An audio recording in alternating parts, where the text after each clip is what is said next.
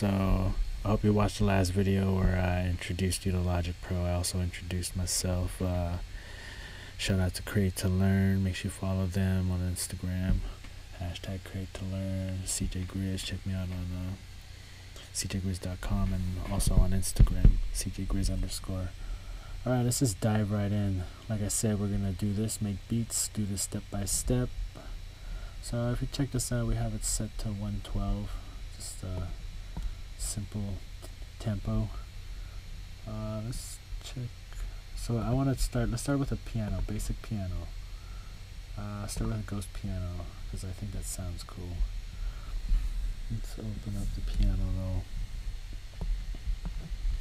though. Uh, if you don't have a MIDI controller, that's cool. Let's see what I just pressed.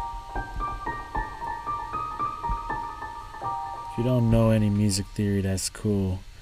Uh, I, I suggest you do search up like what code, what uh, chords are, what modes are, scales, uh, what keys are, and uh, it's pretty basic information that you can find. I've found everything I needed online.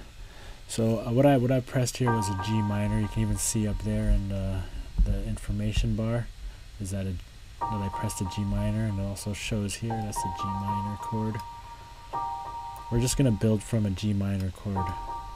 So let's uh, let's just press it in. I'll just record it in with my MIDI. Okay. I'm gonna stretch this pattern.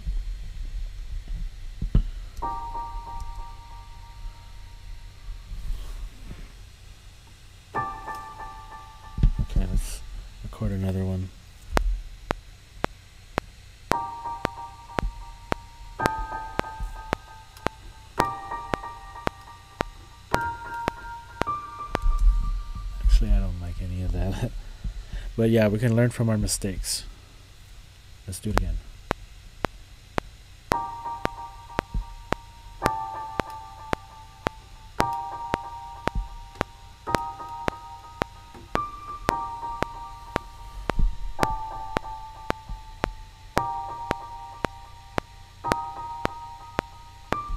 Alright.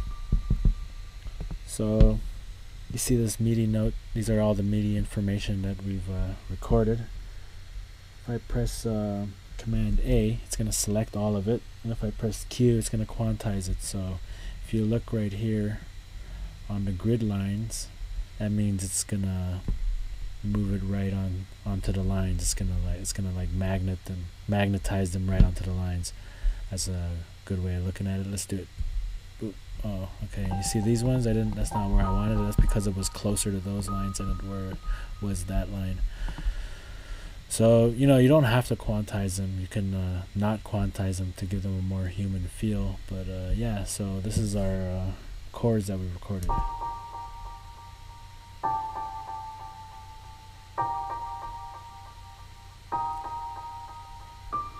we can edit them we can uh, go over here and we can press scissors we can press command it turns into a scissors we can cut them we can manipulate them there's so many things we can do.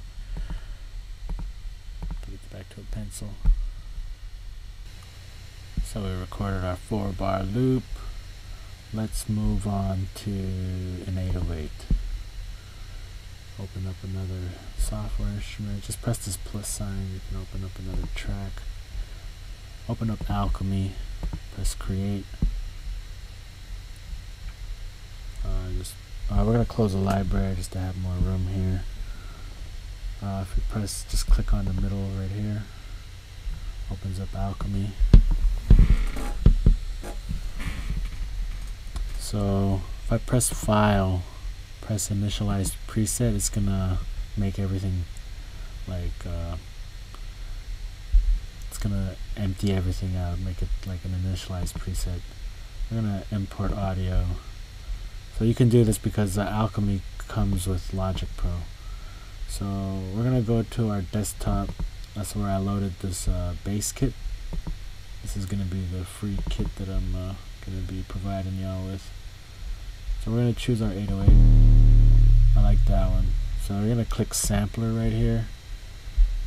Make sure sampler is clicked press import.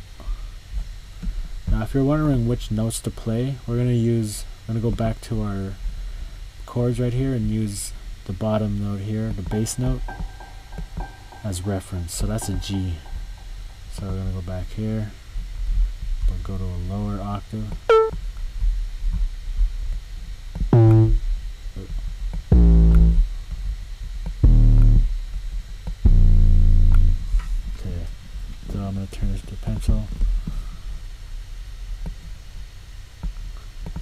Just it just keeps pressing uh, G right here, so we can we can we can do quite a bit with it still though.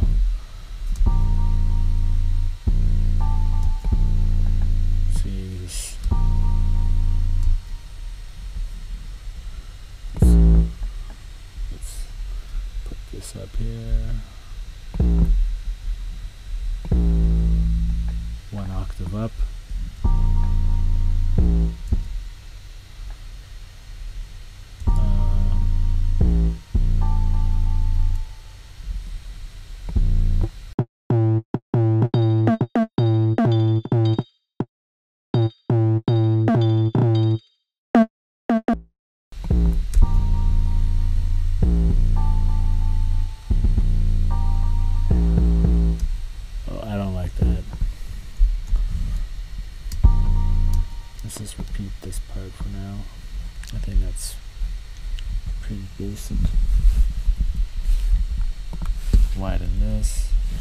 Press uh, Command left or Command right if you want to widen or zoom in, zoom out.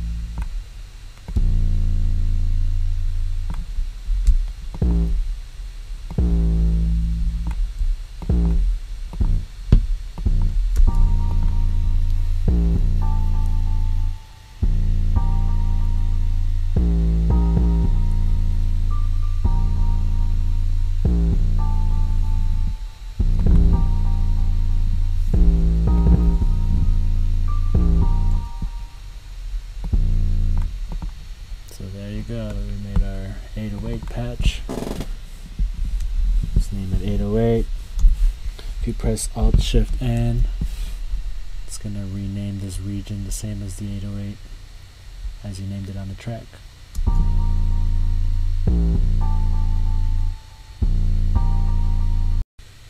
Alright, so we made our 808. We made it an alchemy, which is uh, a sampler that uh, Logic has. It also has a bunch of other stuff inside Alchemy. But there's also different ways you can make your 808s. You can um, use an uh, EXS sampler, which is a different type of sampler that Logic has. You can also use a synthesizer, which is a little bit more complex, and I would recommend like uh, either finding some presets or uh, finding a video on how to create those presets. Uh, you can also have a VST generator that makes uh, 808 sounds or you can also just like load the 808 waves directly on here and then you can just manipulate them with the transposer but uh you know that's a little bit time consuming and my, my favorite way is just uh, using a sampler and a simple wave file because you can uh, collect so many different types of uh, 808 waves and there's always so many available online so we have our 808 we have our uh, ghost piano and uh, yeah, it kind of sounds pretty, kind of sounds pretty grimy. Uh, let's open up another instrument. Open up software instrument. Press that little plus sign. Let's just press create. Uh, I want to open up uh, maybe a synthesizer because we want to make like a lead now. Mm, let's let's choose something cool or something that sounds really good. I don't know about this chip tune.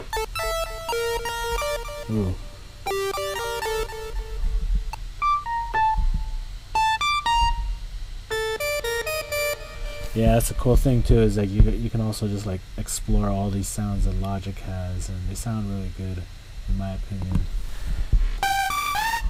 Ooh.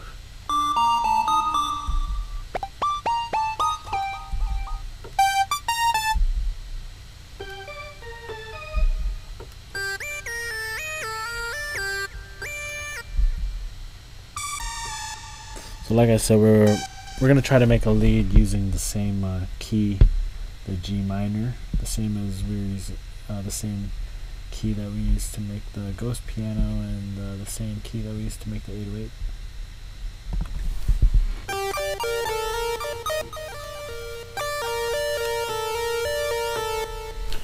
Okay, uh, what I really like uh, if you don't really know how to like make lead, but a cool way to make original sounds still is uh, using the arpeggiator. It's a MIDI effects that Logic has.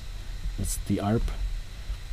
So let's just set this to 8, 1 8.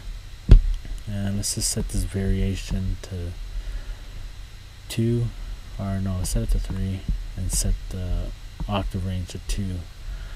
So let's just set this note order to this, or we can try setting it to random.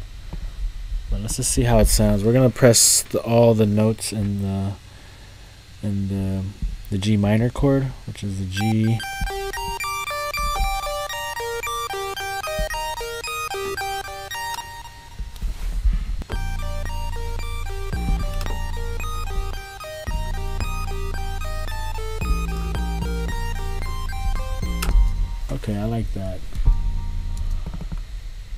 So let's go here, let's uh, quantize these.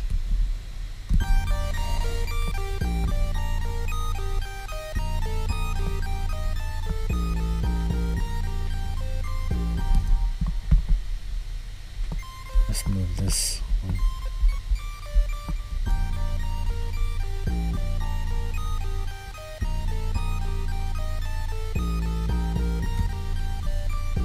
Okay, I like it like that. Alright, so we've created our melody by using an ARP. Let's close this. What really helps uh, your chords is layering them. So we're gonna open up another uh, empty channel strip, and uh, it's really it's really important part of uh, uh, beat making, especially uh, when you really want to sound unique. You know, is blending your sounds, and it's not just sounding like one instrument. So it's gonna be interesting. Let's uh, duplicate this. So you can kind of hear it if you mute it.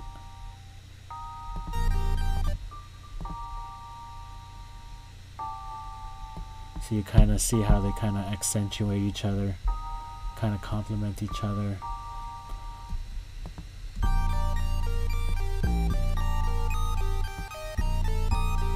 Let's see if something else.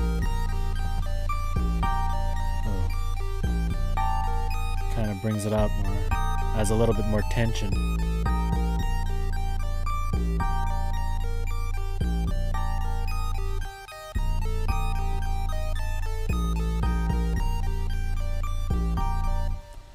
Also, uh, just gonna throw this in here. It's just a little, uh, just because I, the the chip tune lead is a little bit uh, piercing to me, so I kind of wanna just put a little EQ on it, a little soft high pass.